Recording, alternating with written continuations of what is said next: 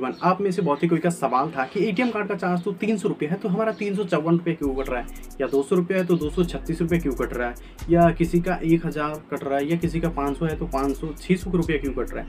देखिए एक्चुअली ये जो है सेंट्रल बैंक ऑफ़ इंडिया का ए कार्ड का चार्जेस जो है एक सितंबर 2022 से अपडेट लाया है। इसके मैंने अपडेट आपको दे भी दिया था। आप में से हो सकता है, बहुत ही कोई नहीं मिला होगा इन्फॉर्मेशन वैसे वो वीडियो मेरा काफ़ी पहले ही आ चुका है, दो तीन महीने पहले ही।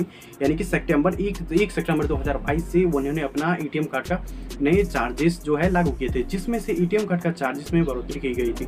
जहाँ मान लीजिए दो सौ छत्तीस क्यों बढ़ा? क्योंकि दो सौ रुपये ए कार्ड का चार्ज है, उसमें छत्तीस रुपया आपका जीएसटी सर्विस चार्ज काटा गया। 18 परसेंट जीएसटी काटा जा रहा है। वहीं अगर वीज़ा कार्ड लेते हैं तो उसका 500 यानी कि पाँच सौ रुपया चार्ज है, जिसमें आपको पाँच सौ चौवन रुपये है या उससे अधिक भी पेमेंट करना पड़ सकता है। क्योंकि इसमें जो है सर्विस चार्ज यानी कि आपका जो एटीएम कार्ड का बनाने का चार्ज है, उस बनाने का चार्ज भी लग रहा है। क्योंकि आपका नाम जो प्रिंट होता है कार्ड पे, आप जो नाम लिखवाते हो, उसका भी नाम।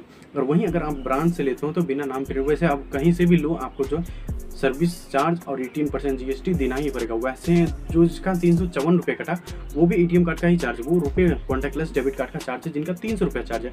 और चौवन रुपया जी एस टी समेत eighteen percent G S T और सर्विस चार्ज भी काटा जा रहा है। बहुत ही कोई कन्फ्यूज़ थे सर, हमारा तो इतना इतना पैसा कट गया, लेकिन ए टी एम कार्ड का तो इतना ही चार्ज है।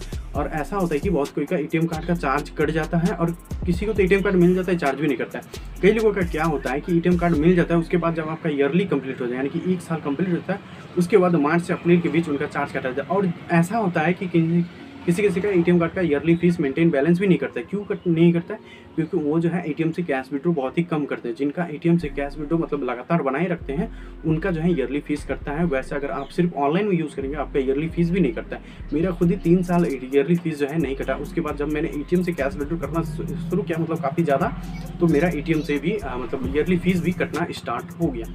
आई होप कि छोटी सी इन्फॉर्मेशन अच्छी लगी वीडियो अच्छी लगी, वीडियो को लाइक कीजिएगा, दोस्तों का शेयर कीजिएगा चैनल को सब्सक्राइब कीजिएगा, कोई भी सवाल हो कमेंट भी कीजिएगा। मिलते हैं किसी अगले इन्फॉर्मेशन के साथ। जय हिंद, जय भारत। थैंक